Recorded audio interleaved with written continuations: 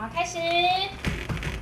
三峡恩主公医院在一百零一年推动偏乡儿童早期疗愈计划，在三峡山区与公立幼儿园合作，每学期都有医师进行认知与行为筛检，透过医疗团队的合作，希望能早期发现儿童过动或语言行为发展等迟缓的症状，进行认知与行为治疗的协助，让孩子不错过六岁以前的黄金治疗期。从刚开始这样，家长可能就是。完全就是一个无头的苍蝇，或者说这不知道怎么办的时候，或者说当地的一些，比如说，呃。呃，国小的一些，呃，就是幼儿园的一些老师们，他们也不知道怎么帮助小朋友。那我们因为整个专业团队介入以后，让他这个小朋友，哎，能够慢慢在一个正轨上，然后持续的发展进步。我觉得这是蛮蛮高兴的，而且山上又是那种真的看上去风景都很好，这样虽然累一点，可是有时候哎，忙完以后看到那时候风景很好，就觉得也是心情也是蛮好的。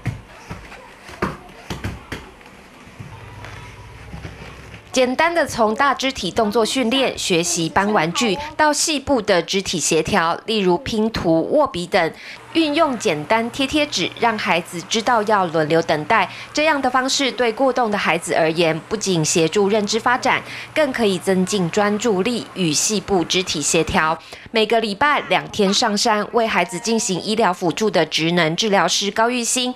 五年以来一直在偏乡团队中服务，虽然辛苦，但从孩子身上他学到更多。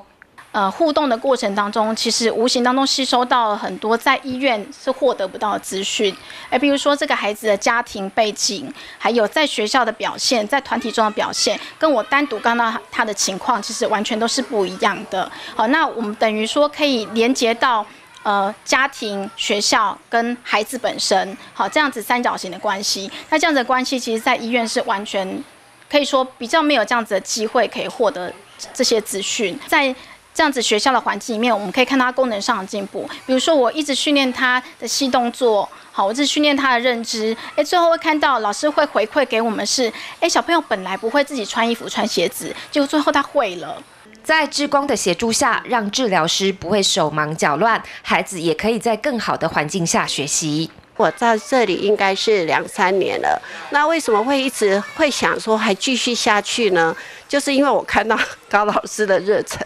然后看到小孩子的成长，然后每天都好快乐。有这一群医师、治疗师与职工专业的医疗团队无私付出，让偏乡孩童也能享有平等的医疗资源，顺利成长。数位天空新闻三峡报道。